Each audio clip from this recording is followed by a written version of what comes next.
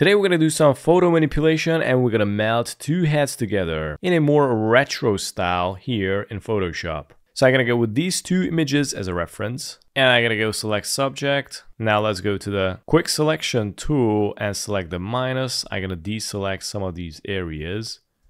So it's gonna select only the head. I'm gonna select the plus and just try to select only the head area. And now let's go and click on a mask. Let's go and select the brush tool and eliminate the unnecessary stuff. I'm gonna increase the hardness you can press and hold shift, make it straight, and eliminate the unnecessary areas. You also can swap it from black to white. With the white, you can paint back some of the areas. There you go, first one done. Let's go to the second one, do the same thing. Now I'm gonna select this head, go to the next tab right here and drag it in. Let's select the crop tool, press and hold alt and stretch the artboard out, double click release, arrange the heads, and I'm gonna right click on the layer, convert smart object, do the same with the second, press Ctrl T, and I'm gonna scale this up a little bit more. I'm gonna right click on this, flip horizontal, double click release, and I'm gonna position it maybe something like this. And now we're gonna try to meld these guys together. Now I'm gonna select the first one, and let's go to filter, liquify. I'm gonna go with these settings, size, density, pressure, and what I'm gonna do is go to the eye and just stretch it a little bit more down, something like this. I'm gonna do the same thing with the mouth. Stretch it all out and with the nose as well. Click OK. And now I'm gonna go and add a mask and make sure to be on this mask. I'm gonna select the brush tool, make sure you're on the black and scale it up, decrease the hardness, and I'm gonna delete some of these areas. So we're gonna try to meld these together. Now I'm gonna select the second layer, go to the filter, liquify, and we're gonna do the same process. I'm gonna try to bring this eye like this, and also the mouth and the nose.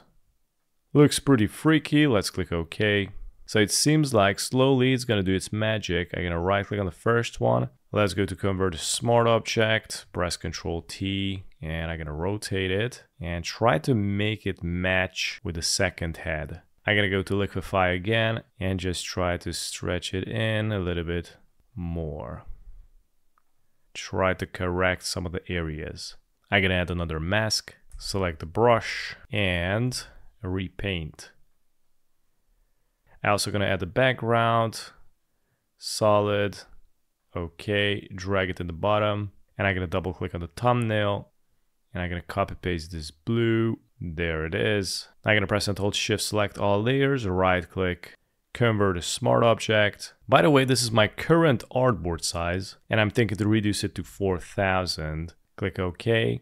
And I'm gonna press Ctrl J to duplicate the layer. Let's go with the first layer. Now we're gonna go to the filter, filter gallery, and we're gonna go to the sketch, select the reticulation first.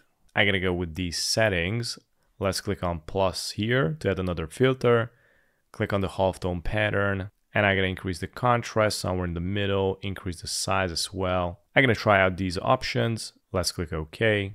Now let's go to the blend mode and here you can change up the blend mode however you like. You can find some pretty cool blend modes, but I'm gonna go with the soft light. You also can increase or decrease the contrast by going to the opacity and decreasing it or increasing it. Now it made it way better. I'm gonna also add some noise, press and hold Alt, click on the plus, create a new layer, rename it as noise, go to the mode, change it to overlay, make sure to check fill with overlay neutral color, click OK. Right click on the layer, convert to smart object, go to filter, noise, add noise. And here you can adjust the noise and put as much noise as you want. I'm gonna make it nice and high, click OK. And that's how I stick these two heads together here in Photoshop. Thanks for watching.